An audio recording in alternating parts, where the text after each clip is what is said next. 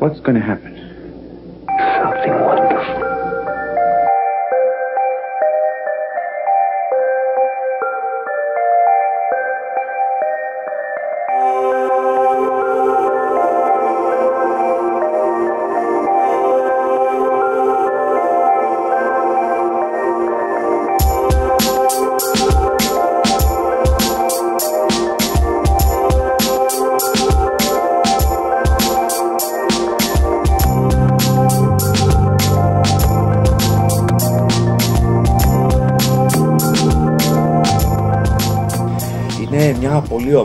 Σήμερα και είπα να κάνω μια εκδρομούλα και να καλέσω τρεις φίλες μου με μια ιδιαίτερη σεξουαλικότητα λίγο έξω από την Αθήνα, να κάτσουμε, να φάμε, να πιούμε μπυρίτσα και να συζητήσουμε τη θέση της ομοφιλόφιλης γυναίκας στην ελληνική κοινωνία του σήμερα. Να σας συστήσω λοιπόν τις φίλες. Εγώ είμαι η Βίβια. Εγώ είμαι η Έλενα. Και εγώ είμαι η Άννα. Θα αρχίσω με σένα, Άννα. Ε, το σκεφτόσουν δύο μέρες για να ερθεις Και το πίστευα, τελευταία στιγμή λέω θα έρθω. Μέχρι Δεν σε τελε- απογοήτευσε. γιατί, γιατί το σκεφτόσουν δύο μέρες να έρθεις; Γιατί μου, μου είχε κάνει εντύπωση ότι οι γυναίκες ε, δεν μιλάνε δημόσια, ενώ παρόλο που διεκδικούν τα κινήματα, ορατότητα ε, προς τα έξω, μόλις τους βάλεις μπροστά σε μια κάμερα τρομάζουν, δεν θέλουν να φανούν μπροστά στην κάμερα δηλαδή. Εύκολα. Ωραία. Σε αυτό νομίζω έχω να πω δύο πράγματα. Αρχικά ότι δεν έχω συνηθίσει και να βρίσκομαι στην κάμερα, οπότε δεν βγαίνει και αυθόρμητα να στηθείς να κινηματογραφηθείς και εντάξει, σε δεύτερο στάδιο ήταν πολύ σημαντικό ότι δεν έβρισκες και εσύ κάποιον άνθρωπο να βγει να μιλήσει, δηλαδή για μένα αυτό λειτουργήσε πολύ καταλητικά. Ότι δεν είναι δυνατόν να είμαστε 5 εκατομμύρια άνθρωποι στην Αθήνα, αρκετέ γυναίκες που ζουν μια διαφορετική ζωή και να μην μπορούν να βρεθούν τρεις τύπησε να πούνε πέντε πράγματα. Αυτό. Σ' ακούω. Σε αυτό συμφωνώ. συμφωνώ απόλυτα. Ε, αυτό που με παρακίνησε ήταν ότι αρκετό καιρό ακούω από φίλες όλα τα προβλήματα που βιώνουν στην επαρχία, στην κοινωνία μας, στην πόλη που ζούμε, στην Αθήνα. Με το που είδα την ανακοίνωσή σου, το πρώτο πράγμα που σκέφτηκα είναι απλά να σου στείλω ένα μήνυμα. Οπότε ήσουν το μέσον για να μου δώσει τη φωνή. Εγώ το θεωρήσω απόλυτα φυσιολογικό όταν υπάρχει ένα τέτοιο κάλεσμα να υπάρχει και ανταπόκριση. Απλά πράγματα. Να συζητήσουμε εδώ για τα δικά μας. Θέλω με αφορμή έτσι αυτή την ωραία παρέα εδώ δίπλα στη θάλασσα. Πραγματικά είναι πολύ ωραία πάντως εδώ πέρα, πάρα έτσι πολύ να το όμορφα, πούμε πολύ γι' αυτό. ήρεμα. Και ήρεμα. Ε, να σας δώσω την αφορμή να δώσετε ένα, να σπάσετε τα στερεότυπα καταρχήν που έχουν για τις ε, λεσβείες, αν χρησιμοποιήσω αυτή τη λέξη, δεν ξέρω πώς να το προσδιορίσω το θέμα, πώς Μια χαρά. πρέπει να το προσδιορίσω, Παρακαλώ. ομοφιλόφιλες, γυναίκες, λεσβείες, Όλα. όλα, όλα. μαζί. Και να αρχίσουμε να μιλήσουμε και να δείξουμε ποια είναι η πραγματική εικόνα της, ε, και τα προβλήματα της ε, μιας γυναίκας που είναι διαφορετική στη σημερινή Αθήνα. Αλλά και να σπάσουμε και τα στερεότυπα νομίζω εγώ που έχουμε. Και το φόβο κυρίως ε, στα νέα παιδιά που φοβούνται να μιλήσουν δημόσια και να βγουν προς τα έξω.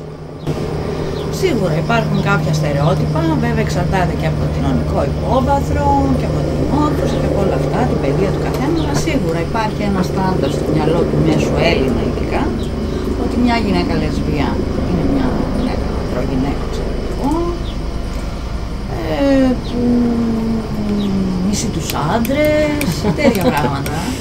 Αυτά θέλω να πούμε. Αυτά, ναι. Και ο- Βέβαια αυτά απέχουν παρασάγκας από το, την πραγματικότητα, έτσι και ειδικά την πραγματικότητα έτσι όπως εξελίσσεται την τελευταία δεκαετία, ε, ίσως πενταετία, οκ. Ευτυχώς ε, οι άνθρωποι έχουν αρχίσει και το βλέπουν λίγο διαφορετικά το πράγμα, δεν είναι τίποτα ε, ιδιαίτερο, δεν είναι τίποτα ξεχωριστό. Είναι κάποιες ε, σεξουαλικές ορμές, επιλογές. Δεν είναι επιλογές βέβαια. Εντάξει, όλοι οι άνθρωποι γεννιόμαστε, αγαπάμε το ίδιο φίλο, στην πορεία αλλάζουμε. Άλλοι θέλουν αγόρια, άλλοι θέλουν κορίτσια. Εμείς γουστάρουμε κορίτσια. Απλά πράγματα. Γουστάρουμε αυτόν να πληρώνει. Α, ωραία. Περικάβλας. Λοιπόν, να πούμε και λίγο Περικάβλας. προς το τέλος ε, περικάβλας, έτσι. Αφού μιλήσουμε Αφού, περί μιλή- έρωτος, αφού μιλήσουμε περί έρωτα. ρατσισμού. Για πες με εσύ, για πες με εσύ. Βασικά α, δεν, δεν έχει τύχει να βιώσω τόσο έντονα τον κοινωνικό ρατσισμό από την άποψη ότι είμαι αποδεκτή από τους γονείς μου, από τους φίλους μου, από αρκετούς συγγενείς. Οπότε γενικότερα από την αρχή της πορείας μου, αν θέλετε. Της καριέρας μου. Της καριέρας μου λοιπόν.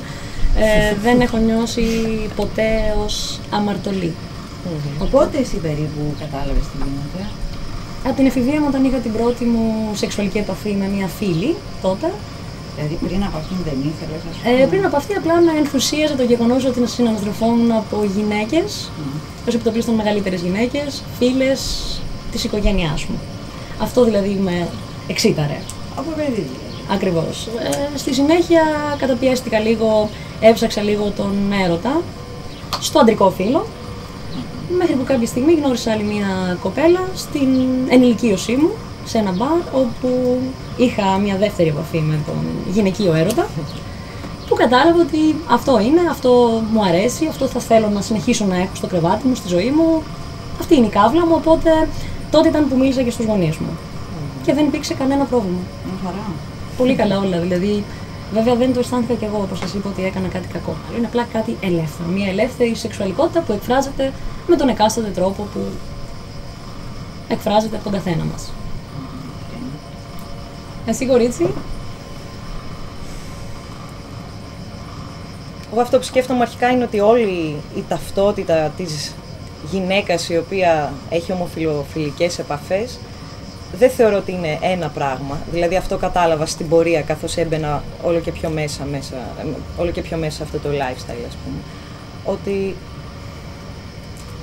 ο κάθε άνθρωπος παρόλο που συνεχίζουμε, πώς το λένε, κάνουμε τις, τις επιλογές μας, συνάπτουμε σχέσεις, έχουμε τις επαφές μας, δεν πάβουμε να είμαστε και κάτι διαφορετικό, δεν πάβουμε να έχουμε και μια προσωπικότητα τέλος πάντων και θεωρώ ότι έχει υπάρξει πάρα πολύ πίεση να γίνουμε ένα συγκεκριμένο πράγμα για να αναπνεύσουμε στον λίγο χώρο που δόθηκε ή κερδίθηκε και με, με προβληματίζει πάρα πολύ το γεγονός ότι συχνά χρειάζεται να αφήσουμε κομμάτια του εαυτού μας απ' έξω. Δηλαδή αυτό το πράγμα το άμα είσαι αρκετά θηλυκή, ξέρω εγώ, μπορεί να μην θεωρείσαι λεσβία. Οι άλλοι να αμφιβάλλουν ότι όντως έχεις επαφές με γυναίκες. Μπορεί απλά να παιχνιδίζεις, γιατί εντάξει δεν σου φαίνεται κιόλας. Το οποίο είναι κάτι πολύ. Νομίζω ότι το βιώνει πάρα πολλοί κόσμος, ο οποίος αρχίζει να είναι πιο ε, ανοιχτός για τις επιλογές του και τη ζωή του. να σπάσουμε τα στερεότυπα; Σίγουρα. Ε, ή θα τα σπάσουμε ή θα μας σπάσουν. Δεν έχει και άλλη επιλογή. Ή θα γίνουμε κι εμείς ένα στερεότυπο, τι λέτε; Ε, άμα γίνεις σε στερεότυπο, σπάς και λίγο. Δεν είναι και μια ευχάριστη διαδικασία. Είμαστε όλοι σεξουαλικά όντα και εκφράζουμε με τον έναν ή με τον άλλον τρόπο τη σεξουαλικότητά μας. Τώρα αυτά όλα τα στερεότυπα είναι και λίγο κατάλοιπα τέλος πάντων ενός κάποιου τρόπου ζωής, ε, του δυτικού τρόπου ζωής και όλα αυτά λίγο αρχίζουν οι κοινωνίες να αλλάζουν, να διαφοροποιούνται, γινόμαστε πιο συλλογικά όντα και κατά συνέπεια πιο πολυμορφικά. Ναι. Οπότε η διαφορετικότητα ε, σταματάει να είναι τόσο εμβλία, όλο και συγκλίνει. Οπότε πρέπει να το δούμε κι εμείς λίγο αλλιώς, δεν είμαστε διαφορετικά όντα. Είμαστε πολύ χρώμα όντα. Πολύχρωμα. Παρ' όλα αυτά, η ανάγκη του καθενός, ειδικά σε άτομα που έρχονται από επαρχία, που έχουν βιώσει, πιθανώς να έχουν βιώσει μια περιθωριοποίηση. Επειδή εγώ έρχομαι από επαρχία και επειδή το έχω βιώσει αυτό που λες, κάποια στιγμή δεν το βλέπεις πια σαν, ε, ξέρω κι εγώ, κοινωνικό ρατσισμό. Ε, καλύτερα να το δεις σαν κοινωνική ανοησία, γιατί περί αυτού πρόκειται. Αλλιώς περιθωριοποιείς τον εαυτό σου, κλείνεσαι, γίνεσαι μελαγχολικός, σε πιάνει κατάθλιψη. Πρέπει να δεις ότι αυτοί έχουν το πρόβλημα. Ε, αυτό είναι πολύ Δεν σημαντικό. το ξέρεις εσύ. Αλλά δεν είναι Εσύ σημαντικό. δεν εκφράζεσαι. Πού είναι το πρόβλημα στο να εκφράζεσαι; Κανένα. Αν το έβλεπαν όλοι έτσι, δεν θα υπήρχαν αυτά τα διάφορα μυστήρια, τα ρατσιστικά, ξέρω κι εγώ, τα σεξιστικά. Κοιτάξτε, ξυπνάει ο κόσμος. Εγώ ήθελα να πω το εξής, αυτό που έχει να κάνει με το ότι όταν ανακαλύπτουμε λίγο ή έχουμε μια υπόνοια για τη σεξουαλικότητά μας, για κάτι διαφορετικό τέλος πάντων, ε, θα θέλαμε να μιλήσουμε με όμοιους. Δηλαδή αυτό θα μας βοήθαγε να Σίγουρα. μην νιώσουμε ότι είμαστε μόνοι μας. Οκ, ναι, σίγουρα. Οπότε- Και υπάρχουν πολλά νέα παιδιά που είναι και χαμένα, που τους έχει πάρει και από κάτω όλο αυτό του, της κοινωνίας, ξέρω κι εγώ, της καταγραφής. Για μένα πρέπει να βρίσκεται μια δυναμική ισορροπία τέλος πάντων στο πόσο ανοίγουμε και ενισχύω την κοινότητα και οργανωμένα και θεσμικά, διότι βοηθάει εννοείται πάντοτε να υπάρχει και ένα δίκτυο Θεσμικά ανθρώπων το βοηθάει οποίο σίγουρα, οκ. μπορεί να σε στηρίξει σε κάποιες διεκδικήσεις πολύ βασικές για μία ποιότητα ζωής ας πούμε. Και σε δεύτερο στάδιο εννοείται πώς μπορείς να στηρίζεις και την, την υπόλοιπη βεντάια της προσωπικότητάς σου και πώς μπορείς να έχεις τέλος πάντων μια καλή ισορροπία ανάμεσα σε έναν γκέι περίγυρο ξέρω εγώ και έναν straight περίγυρο, να έχεις αναπαραστάσεις απ' όλα, να μπορείς να είσαι ένα πολύ μορφόν όπως α, είπες και προηγουμένως. Και αυτό είναι σίγουρα πιο απαιτητικό, Πιο υγιές. αλλά είναι και πιο υγιές και το απαιτητικό συχνά είναι υγιές. Και εντάξει, ή να το πω αντίθετα βασικά, το, το υγιές είναι απαιτητικό. και εκεί πέρα έχει μια σημασία, ας πούμε, να το έχουμε όλοι αυτό στο νου μας και να το να δείχνουμε προς τα έξω ότι σίγουρα είναι εφικτό αυτό το πράγμα. Μπορείς να είσαι πέντε πράγματα την ίδια στιγμή. Μπορείς και να εργάζεσαι και να έχεις σεξουαλικές σχέσεις με όποιον επιθυμείς, ανεξάρτητα από φύlo. Ταυτόχρονα να έχεις σχέση με την οικογένειά σου και να μπορείς να είσαι αποδεκτός εκεί πέρα. και ταυτόχρονα να έχεις και ένα φιλικό περίγυρο ή και δραστηριότητες πέρα από την εργασία σου που θα σε ολοκληρώνουν και ως άτομο. Είναι ένα θέμα τέλος πάντων να, να μην μπαίνουμε κι εμείς στη διαδικασία όχι θελημένα, να κουτσουρευόμαστε επειδή αυτό το πράγμα πλασάρεται ως μονόδρομος μέχρι ένα σημείο. Και είναι πολύ ευχάριστο ότι τα τελευταία χρόνια γίνεται κινήσεις προς αυτή την κατεύθυνση και υποθέτω ότι μέχρι ένα σημείο και γι' αυτό είμαστε και εμείς εδώ, για να δείξουμε ότι όντως το να πεις ότι έχω μια διαφορετική σεξουαλικότητα δεν πάει να πει για κανένα λόγο ότι είμαι ότι ζω και μια ζωή πολύ συγκεκριμένη. Θα ζήσω τη ζωή που θέλω να ζήσω και θα ζήσω διαφορετική ζωή από σένα και θα ζήσει και εσύ διαφορετική ζωή από τη Vivian, διότι είμαστε διαφορετικές και καλά κάνουμε. Και όταν έχουμε κάποιο κοινό πρόβλημα, εννοείται θα βρεθούμε, θα το κουβεντιάσουμε και θα συντεταγμένα θα πάμε να το διαχειριστούμε. ως κάτι πιο συλλογικό. Άρα, Πάολο, όπως καταλαβαίνεις, είμαστε παντού, κατά μία έννοια. Όχι, χαίρομαι πραγματικά που σας ακούω και είναι το πιο ξεκούραστο ντοκιμαντέρ για μένα, είναι γιατί μαθαίνω κι εγώ από εσάς. Εγώ έχω ζήσει λίγο διαφορετικά και η αλήθεια είναι ότι όταν ήμουν μικρούλα και χαριτωμένη, είχα τις πρώτες λεσβείες γυναίκες που είχα γνωρίσει ήταν και λίγο επιθετικές, γιατί πιστεύανε το ότι έπεσα στο μύθο της γυναίκας και ότι δεν πρέπει να ταυτίζομαι και έλεγα μα είναι δυνατόν στο ίδιο, το έλεγα λαϊκά εγώ τότε, ξέρετε, στο ίδιο καζάνι βράζουμε, πώς μου λένε τέτοια πράγματα και με κοιτούσαν και πολύ ρατσιστικά.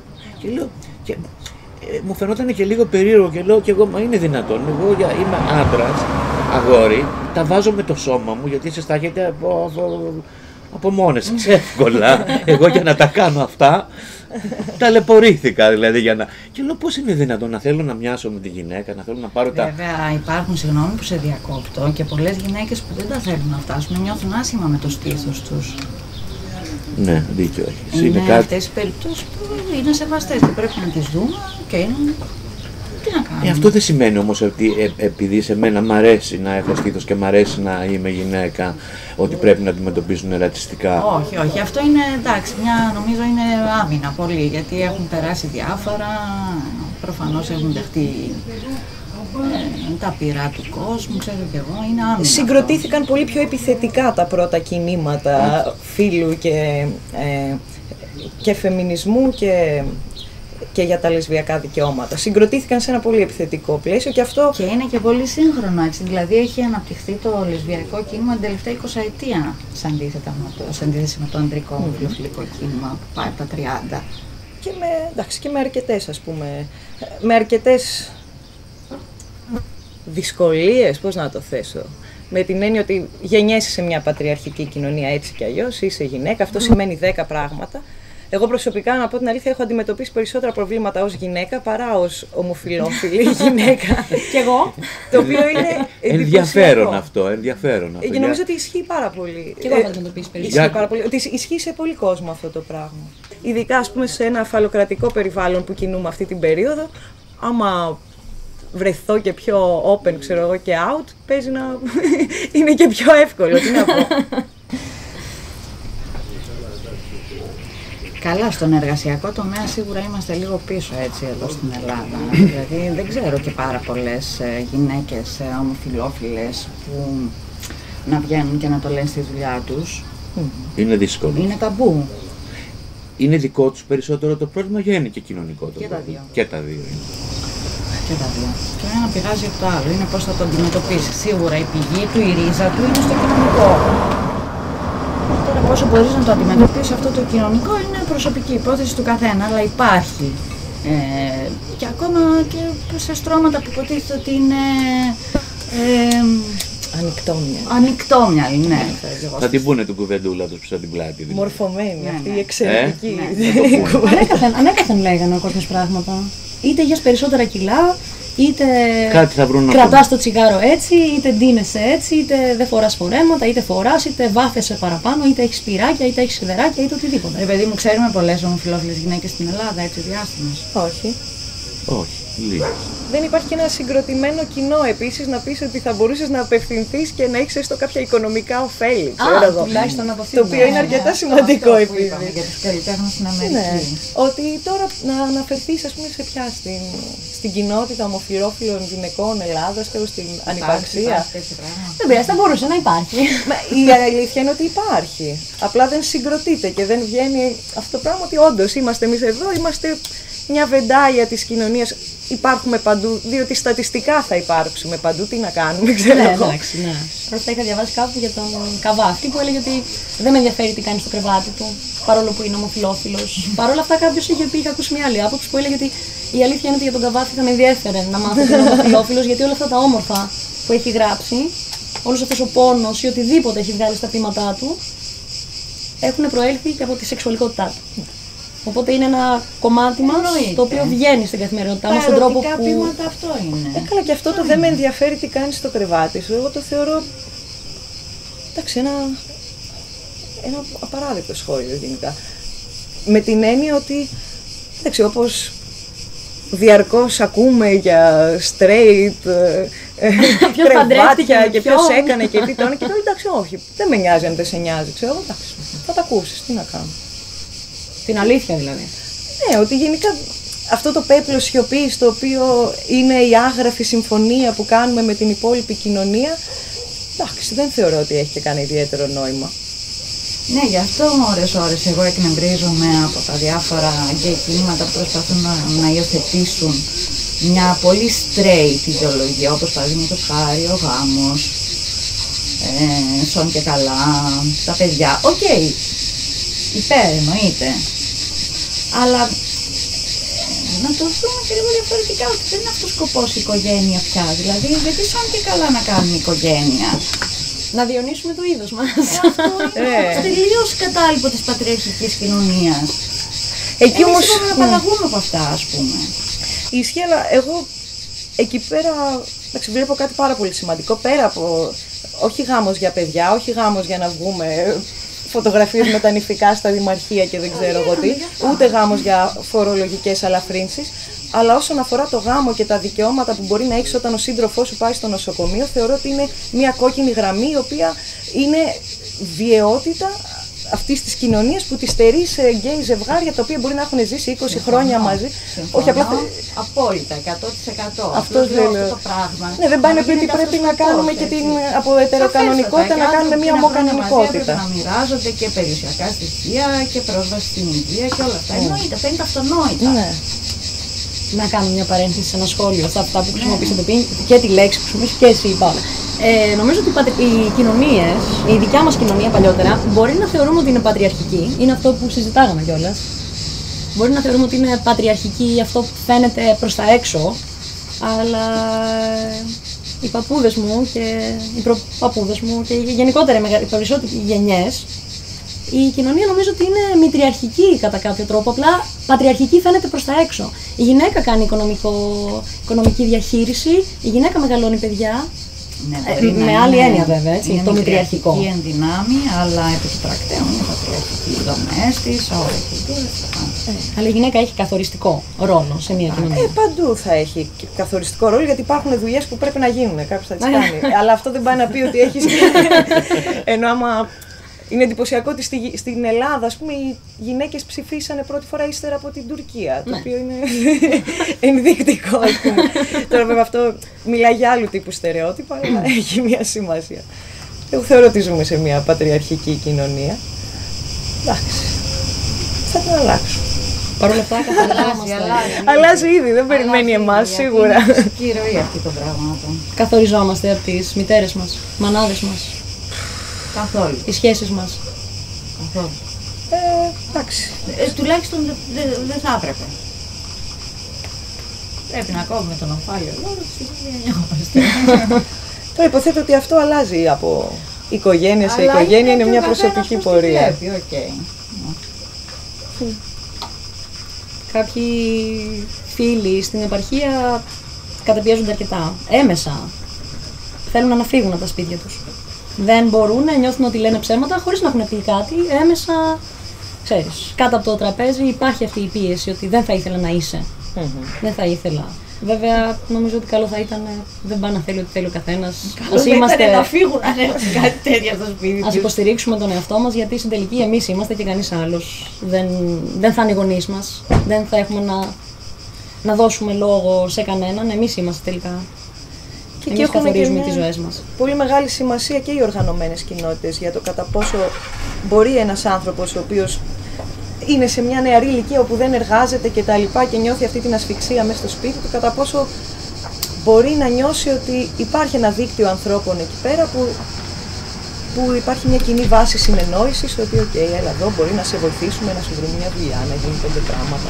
Έστω ένας κοινωνικός περίγυρος. Αυτά είναι πολύ σημαντικά πράγματα και έχει μια σημασία καθώς υπάρχει πλέον το ίντερνετ και έχουν πρόσβαση νέοι άνθρωποι και σε όλη τη χώρα να κινούν και τέτοιες διαδικασίες από μόνοι τους, άμα νιώθουν ότι όντως ασφικτιούν.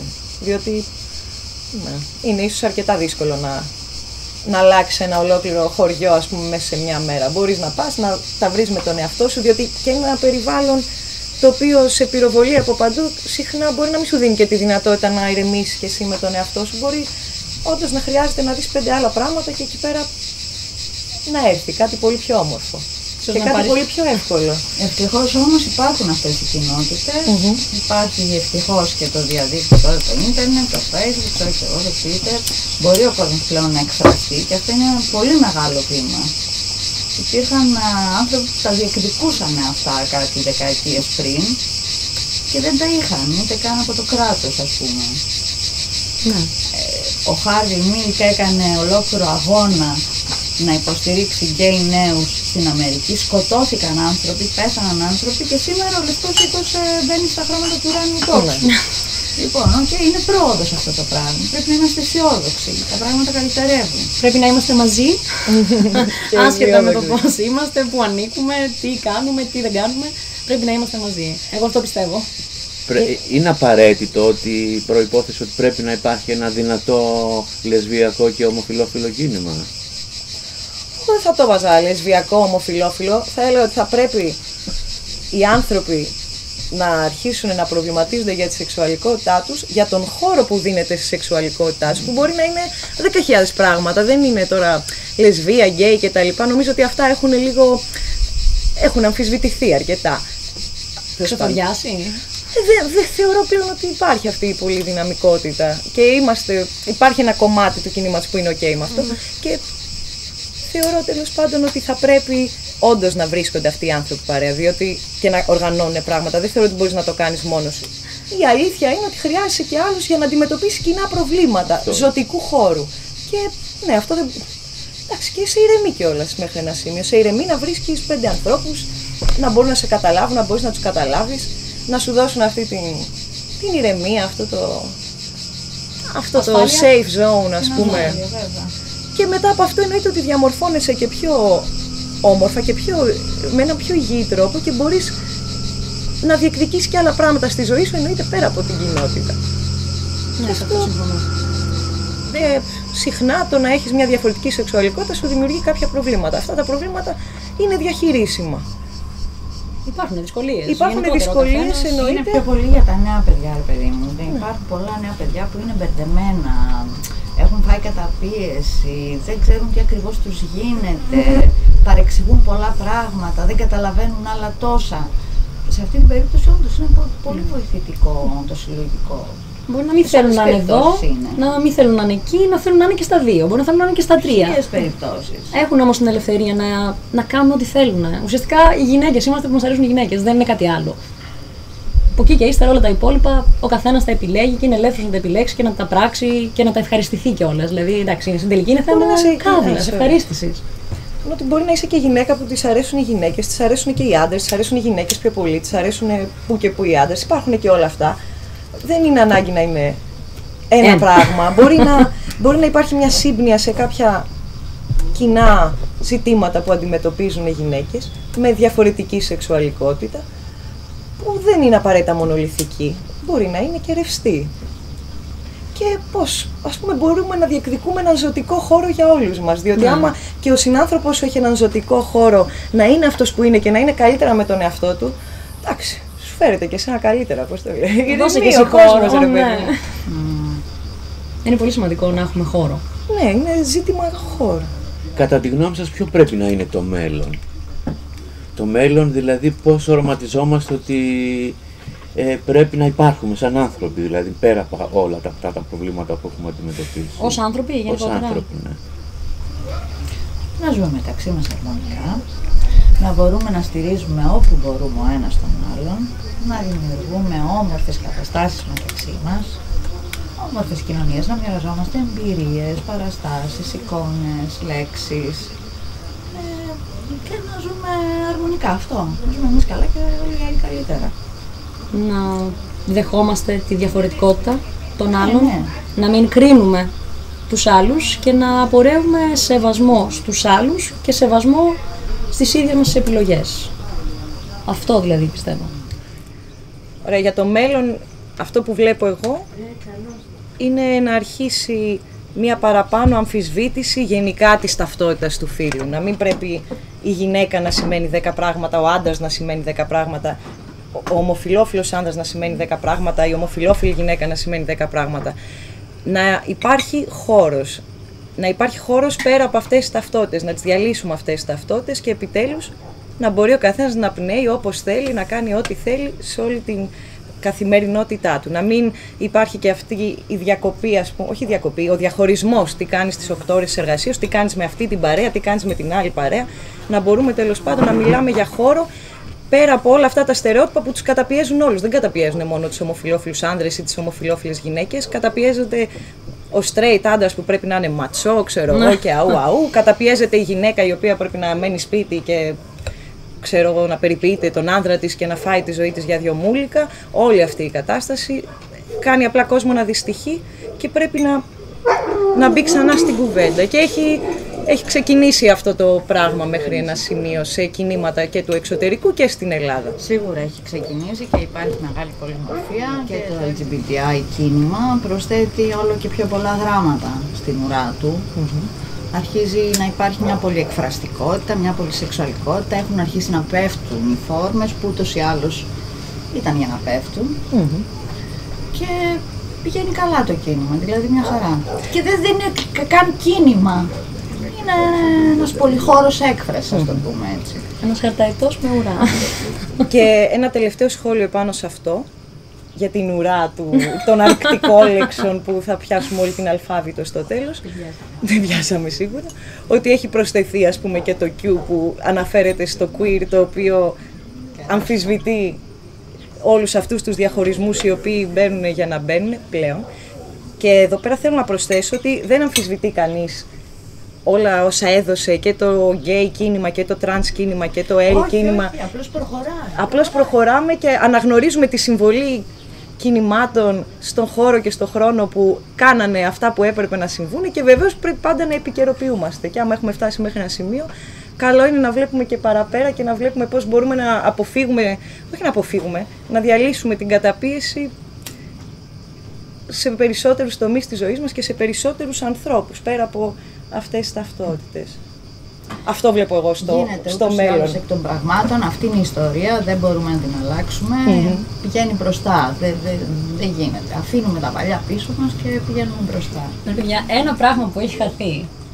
Αυτός; ο, ο έντονος ερωτισμός, το φλερτ, εγώ δεν το βιώνω τόσο πολύ. Όσο και να μου αρέσει, νιώθω ότι το φλερτ αρχίζει και μειώνεται μέσα στις γυναίκες. Δηλαδή δεν υπάρχει πλέον φλερτ.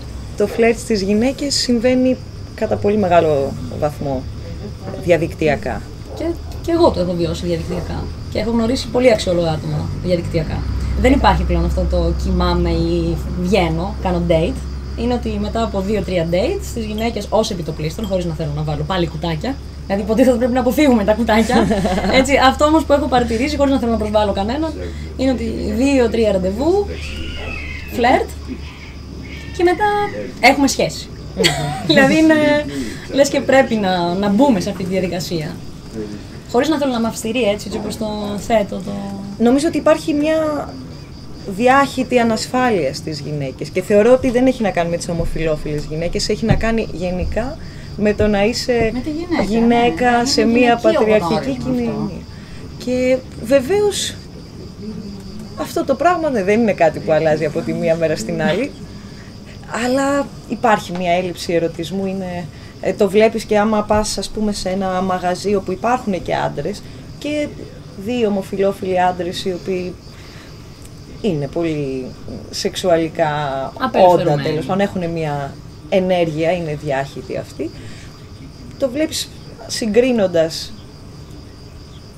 πάρτι, κοινωνικές εκδηλώσεις που θα είναι μοναχά γυναίκες ή που θα είναι ε, gender mix. Ναι. Και είναι όμορφο να ανταλλάσσουμε εμπειρίες, δεν είναι εχθροί μας οι ομοφιλόφιλοι άντρες. Με κανέναν τρόπο. Όχι, ρε παιδιά, Αυτά- εντάξει. Στην τελική τα ίδια πράγματα. Δηλαδή.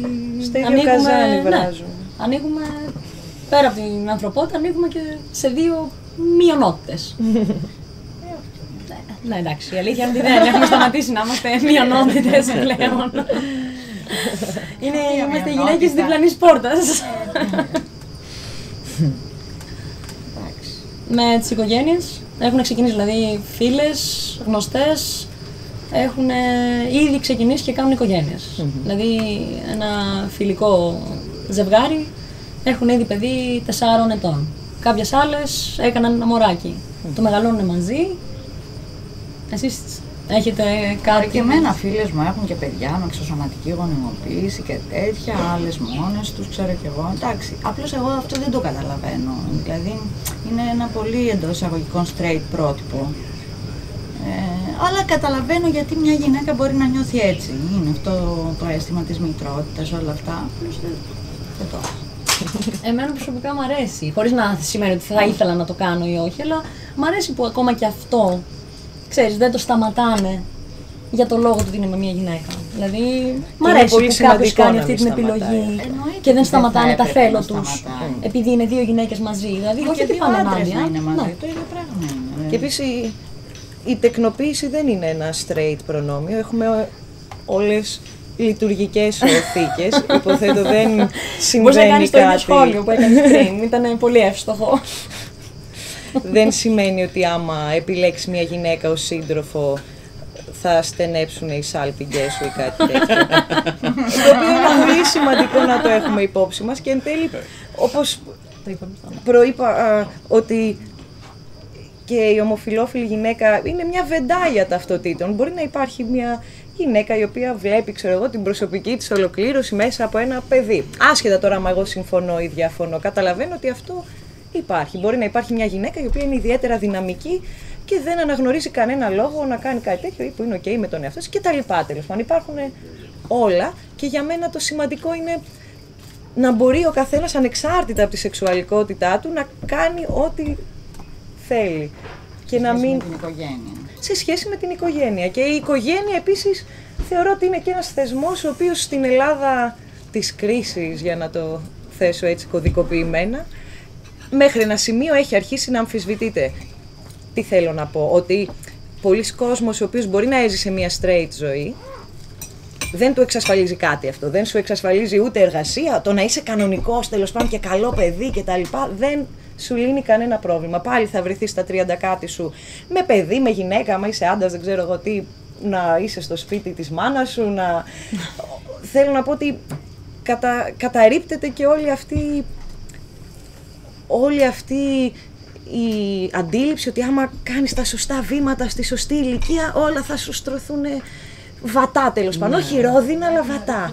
Ότι αυτό δεν ισχύει σήμερα. Οπότε αυτό μας δίνει και κάποιο χώρο σαν άνθρωποι με διαφορετικές επιλογές ζωής, να πούμε ότι εντάξει, δεν είναι ότι στερηθήκαμε και καμιά ουτοπία τώρα του να είσαι 38 χρονών με τη μάνα σου, ας πούμε, και παιδιά και άντρες, Ναι, γυναίκες, σιγά. δεν ξέρω εγώ τι. Δεν είναι ότι στερούμαστε και καμιά ουτοπία. Οπότε ας κάνουμε ό,τι θέλουμε. Δηλαδή, διεκδικούμε χώρο αυτή τη στιγμή. Για μένα θα έπρεπε και πιο επιθετικά. Ότι εντάξει, δεν, δεν λειτουργήσε κιόλας το μοντέλο σας. Τι να κάνουμε. Δεν, δεν εξασφαλίζει τίποτα. Οπότε και το να απέχεις από μια κανονικότητα που δεν εξασφαλίζει κάτι, ε, δεν πάει να πει και κάτι. Ένα και το αυτό, δεν χάθηκε τίποτα. Ένα και το αυτό. Και εκεί πέρα γεννιούνται δύο θέματα. Από τη μία ότι μπορεί κανείς να μην ασχοληθεί μαζί σου επειδή έχει τα δικά του προβλήματα, το οποίο σου δίνει χώρο ως διαφορετικός άνθρωπος, διαφορετική στάση ζωή. Από την άλλη βέβαια δεν θα ασχοληθεί και μαζί σου όταν εσύ αντιμετωπίζεις ένα πρόβλημα. Άμα ας πούμε αρχίσουν ε, εντονότερα μπαράζ ομοφιοβικών επιθέσεων, δεν θα ασχοληθεί και κανένας άλλος. Αλλά αυτό είναι ζήτημα της κοινότητας να το διαχειριστεί και να φτιάξει το χώρο της. Έτσι όπως αλλάζουν σήμερα τα πράγματα, νιώθω ότι είναι τα πράγματα πολύ δυναμικά και όποιος βγει μπροστά μπορεί να, να αλλάξει μια κατάσταση επειδή ακριβώς αλλάζει από μόνο της και τραβιούνται σκηνιά να δούμε πού θα καταλήξει αυτό το πράγμα. Αλλάζουμε κι εμείς οι ίδιοι όμως, έτσι δεν αλλάζει μόνο μια κατάσταση. αλλάζουμε κι εμείς μέσα σε αυτή. Καλά, αν προσαρμοζόμαστε είσαι. Μέσα σε αυτή. σημαντικότερο. Και αλλάζουμε κι εμείς μετά τον περίγυρό μας κατά κάποιο τρόπο. Και έχει μια σημασία καθώς αλλάζουμε σε αυτή την κατάσταση, να μην αλλάζουμε και προς μια πιο φοβική κατεύθυνση. Να αλλάζουμε προς μια κατεύθυνση ότι αναγνωρίζουμε αυτή την ιστορική ευκαιρία που Ναι. δίνεται. Κατακτάμε δηλαδή και πάμε στο επόμενο βήμα. Τρέλα Κάπως στην έτσι. τρέλα. τρέλα στην τρέλα. δεν σημαίνει ότι αφήνουμε τη θηλυκότητά μας απ' έξω. Δηλαδή είμαστε θηλυκά. Είναι θηλυκή η φύση μας. Δεν αφήνουμε τη θηλυκότητά μας, δεν την, ούτε τη βάζουμε, την καταπιέζουμε. Η θηλυκότητά μας είναι εδώ. Σε κάποια άτομα όμως ε, ή υπάρχει μια, ξέρεις, μια στερεότυπη ιδέα ότι οι γυναίκες αυτές βάζουν τη σεξουαλικότητα στην άκρη, τη θηλυκότητά τους μάλλον, στην άκρη και βγάζουν μια αμυντική στάση η οποία είναι πέραν της θηλυκότητας. Κάτι άλλο. Σε αυτό τι, τι Ναι, πιστεύετε βέβαια, εσείς; εξαρτάται και από ποια οπτική γωνία βλέπεις τη θηλυκότητα. δηλαδή είναι και λίγο υποκειμενικό. Μιλάω με τη γενική έννοια, αλλά καταλαβαίνω τι λες. ναι, δηλαδή η θηλυκότητα είναι αυτό που φοράει μήνυ το δεκάποντο και. Τι Μιλάω. είναι θηλυκό; Εγώ θα το έθετα διαφορετικά. Θα έλεγα ότι το να κάνεις, το να συνάπτεις ερωτικές σχέσεις με γυναίκες μεταφράζεται στην κοινωνία ως ότι διαχειρίζεσαι τη θηλυκότητά σου με ένα συγκεκριμένο τρόπο. Το οποίο πάνε πριν την καταπιέζει ή δεν την είχες εξ αρχής κτλ.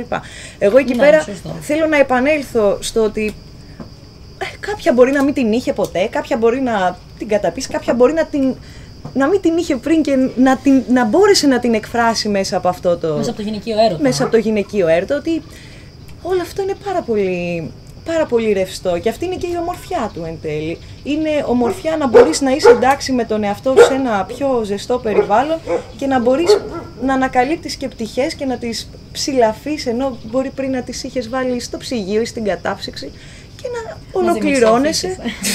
Καλέ, τι ωραία που τα λέτε. Καταπληκτικά, δηλαδή, εγώ σας θαυμάζω. Σεξουαλικότητα είναι κάτι πολύ πιο ελεύθερο. Πολύ πιο ελεύθερο που ίσως δεν έχει να κάνει ούτε καν με τα φύλλα, ούτε καν. Νομίζω ότι η σεξουαλικότητα είναι μια έκθεση του σώματος και της ψυχής και της ψυχολογίας σε έναν άλλον άνθρωπο και σε όλη την κοινωνία. Εκεί πέρα διαφορετικές σεξουαλικότητες εκτίθενται με διαφορετικό τρόπο. Το σημαντικό είναι να μπορεί ο καθένας για τη δική του σεξουαλικότητα, όποια και αν είναι αυτή, τώρα η αφορμή ήταν γυναίκες που Ναι. αγαπάνε γυναίκες, να μπορούν να έχουν πραγματικά τη δυνατότητα να ολοκληρωθούν ως άνθρωποι και αυτό να είναι μια ευχάριστη εμπειρία και να μην είναι τίποτα τραυματικό, να μην είναι τίποτα, Συμφωνώ απόλυτα. τίποτα ας Ναι, πούμε, συμφωνώ. που Το πρέπει έπαιρνε να το σου καλύτερο δημιουργεί ενοχές. Κατάλοιπα, φόβο. Πάντως, πολύ θα Είναι- ήθελα να έρθει μια κάμερα από εδώ τούτη τη στιγμή, παιδιά, να πάρει ένα πλάνο. Έχει κατά έναν καταπληκτικό ήλιο, βαλιό βασίλεμα. Λοιπόν, παιδιά, γράφετε, γράφετε. Ναι. λοιπόν, ε, κορίτσια, πραγματικά το απόλαυσα. Και εμείς το απολαύσαμε. Απόλαυσα την παρέα σας, απόλαυσα έτσι αυτό το, το πολύ ωραίο μέρος. Μου χαρίσατε μια πάρα πολύ όμορφη μέρα. Σας ευχαριστώ πάρα πολύ Ευχαριστούμε και πολύ. ελπίζω να χαρίσατε, να χαρίσατε και στον κόσμο που θα μας δει ευχάριστες μέρες με, τη, με αυτά που είπατε. Ευχαριστούμε για την αφορμή, Παύλα. Ευχαριστώ και εγώ να είστε. Όλα έχουν να κάνουν τελικά με την αφορμή, έτσι.